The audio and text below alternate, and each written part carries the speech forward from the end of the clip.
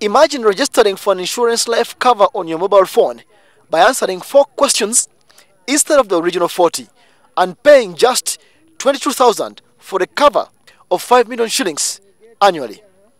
This is a new attempt by Aon Uganda, MTN and Jubilee Insurance in implementing what is termed as microinsurance. The processes of taking up this product we are launching today has been made easy from 40 or so questions to only four. No paperwork involved, there's no medical checkups, and there's no hidden conditions.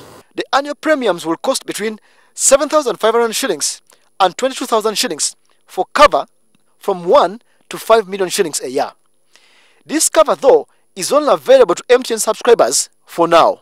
The, the, the regulator and the insurance players, we are very keen to try to, to, to spread insurance and increase the penetration, not just to the middle class and to the corporate, but really down to your average Ugandan, the man on the street. Innovation on the mobile money platform seems but just starting as this mobile-based parallel payment system gets financial services to all sorts of people where they are.